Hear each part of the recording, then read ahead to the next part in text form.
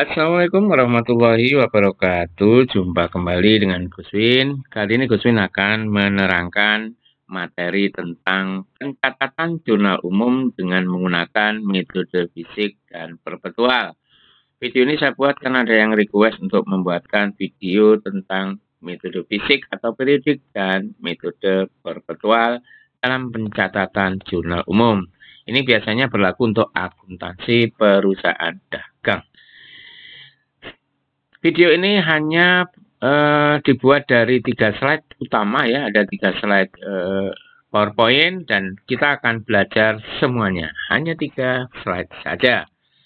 Pertama, metode fisik. Metode fisik ini lebih banyak digunakan untuk transaksi-transaksi yang sering terjadi dan umumnya nilai transaksinya tidak terlalu mahal. Jadi ini sering terjadi.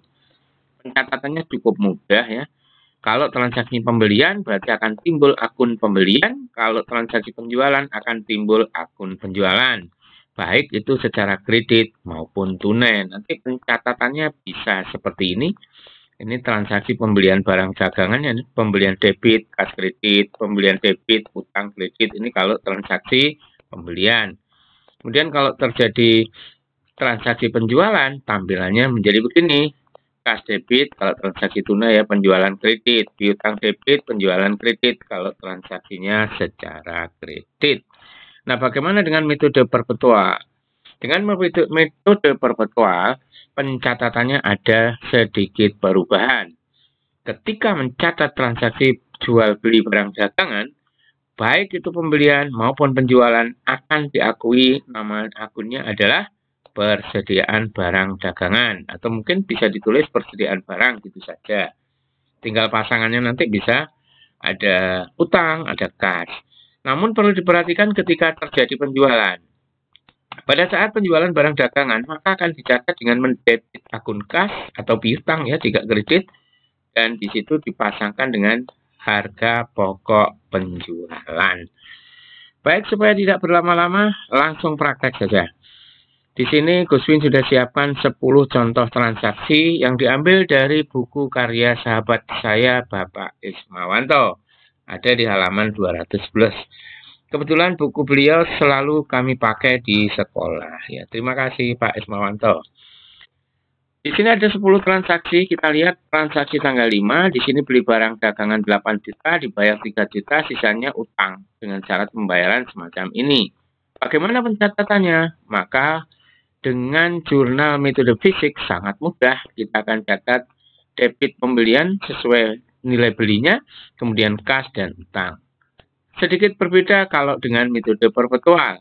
Akun pembelian diganti nama menjadi persediaan. Ya, yang kedua ini sama. Masih ringan. Yang ini masih ringan. Kita hapus dulu. Kita lihat transaksi yang kedua. Dibeli barang dagangan 10 juta ini utang ya. Kemudian di sini ada e, beban angkut. Nah, di sini akan kelihatan perbedaan antara fisik dan periodik sangat mencolok ya. Kita lihat dengan metode fisik pembelian 10 juta, beban angkut 1 juta. Total 11 sama di sini juga total 11. Ini yang 1 juta adalah nilai dari pembayaran beban angkut kan nggak bisa diutang ini ya. Dan yang ini karena belum dibayar di sini namanya utang ya. Nah, di perpetual seperti ini. Di sini 4 akun, ini 3. Lalu kenapa persediaan barangnya tidak sama dengan pembelian nilainya? Di sini 10, di sini 11. Pada metode perpetual, akun potongan pembelian, akun retur pembelian, akun beban angkut pembelian seperti ini, itu akan mempengaruhi nilai persediaan. Karena beban angkut pembelian itu akan menambah harga perolehan dari nilai pembelian, maka ditambahkan pada nilai persediaan menjadi 11 juta. Nanti kita lihat contoh yang lain selain beban angkut yaitu potongan maupun retur ya. Teknik menulisnya seperti ini. Kita hapus, kita lihat transaksi ketiga. Transaksi ketiga di sini dikembalikan sebagian barang. Dikembalikan karena tadinya membeli berarti namanya adalah retur pembelian. Bagaimana pencatatannya? Seperti ini. Utang berkurang, barang berkurang dinamai retur pembelian dan pengurangan harga.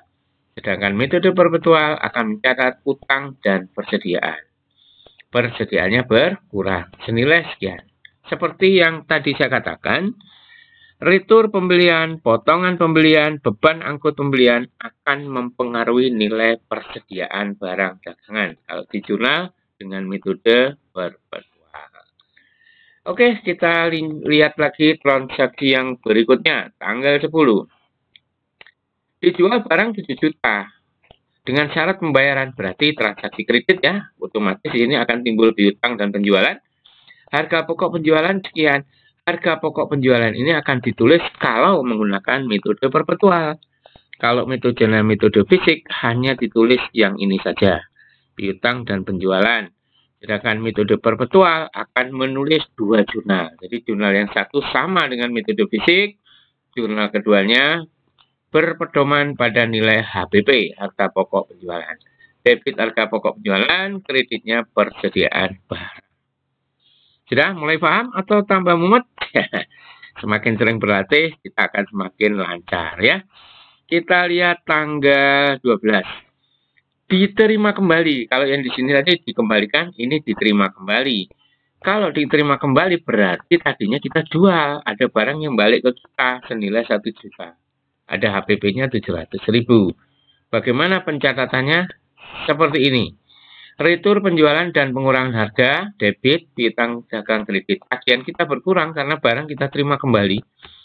Pelanggan mengembalikan ke kita ya. Nah, ketika dibuat jurnal, eh sorry, ketika kita dibuat membuat jurnal secara perpetual jadi begini yang ini sama ya sama ya. Nah yang ini nilainya yang di sini sesuai dengan nilai HPP ya kan? Persediaan barang dagangan bertambah ya debit. Karena barangnya kita terima kembali dan HPP kredit 700.000 sesuai bunyi transaksi tadi. Satu lagi kita coba tanggal 15 dijual barang dibayar sekian, sisanya bulan depan, harga pokok pokok sekian. Kita akan jurnal secara fisik begini. Kas debit, utang debit, ya kan, total 6 juta ya. Kredit penjualan. Kalau metode perpetual, kita akan mencatat kas, utang, penjualan sama dengan ini. Nah, yang beda adalah yang ini. Ingat, jurnal yang kedua ini pedomannya berasal dari nilai HPP, harga pokok, penjualan. Oke, ini tersisa ada 1, 2, 3, 4, 5. 4 ya, sorry ya, ada 4. 4. Silahkan dijawab ya, boleh ditulis di komentar untuk menguji sudah pahamkah cara pencatatan jurnal-jurnal dengan dua metode tadi. Tanggal 18, 20, 25, siapa yang bisa? Silahkan ditulis. Terima kasih sudah menonton dan mudah-mudahan ke depan ada materi-materi request lagi saya akan membuatnya. Sampai ketemu di video yang akan datang. Assalamualaikum warahmatullahi wabarakatuh.